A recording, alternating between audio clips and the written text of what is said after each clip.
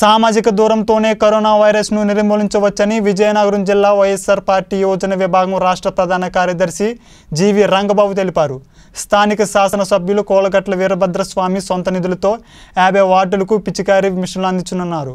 ఈ నేపథ్యంలో ముప్పై మూడో వార్డులో ప్రజలు ఆరోగ్యంగా ఉండాలని అంతేకాకుండా కరోనా వైరస్ను పారదోలాలన్న ఉద్దేశంతో వార్డులో పిచికారీ చేయడం జరుగుతుందన్నారు. రాష్ట్ర ముఖ్యమంత్రి వైఎస్ జగన్మోహన్ రెడ్డి లాక్డౌన్ ప్రజలు అందరూ పాటించాలని పిలుపు మేరకు తమ వంతు బాధ్యతగా వార్డు పరిధిలో పారిశుధ్య నిర్వహణకు సహాయపడుతున్నామన్నారు. ప్రజలందరూ ఇళ్ళలోనే ఉండి తమ ఆరోగ్యాన్ని కాపాడుకోవాలని అన్నారు. మరి ఈరోజు విజయనగరంలో ముప్పై మూడో డివిజన్లో అన్య ఎమ్మెల్యే శ్రీ కోలగట్ల వీరభద్ర స్వామి గారి సూచనలు సలహాల మేరకు పిచికారి మందు జల్లడం జరుగుతుంది.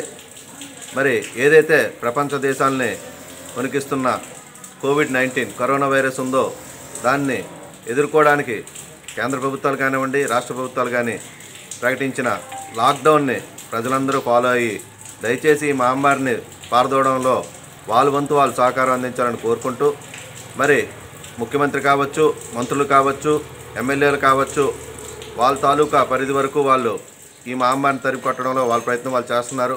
మరి ప్రజలు కూడా ప్రభుత్వానికి కానీ పోలీసు వారికి కానీ హెల్త్ డిపార్ట్మెంట్కి కానీ సపోర్ట్ అందించి ఈ మహమ్మారిని పారదోవడంలో సహకరించమని కోరుకుంటూ మరి ముఖ్యంగా ఈ రోజుకైతే కరోనా వైరస్కి మందు లేదు కాబట్టి దానికి ఉన్న ఏకైక ప్రత్యామ్నాయం సోషల్ డిస్టెన్స్ మరి వ్యక్తిగత పరిశుభ్రత కాబట్టి ప్రతి ఒక్కరూ సోషల్ డిస్టెన్స్ పాటిస్తూ మరి వ్యక్తిగత పరిశుభ్రత పాటించినట్లయితే ఈ మహమ్మారిని తరిమికొట్టొచ్చని ప్రజలందరూ తెలియజేసుకుంటూ మరి ఏదైతే లాక్డౌన్ ఉందో ఆ పద్నాలుగో తారీఖు వరకు దయచేసి అందరూ ఎవరింట్లో వాళ్ళు పరిమితమై ఈ కరోనా మహమ్మారిని పారదోడంలో సహకరించమని కోరుకుంటూ సెలవు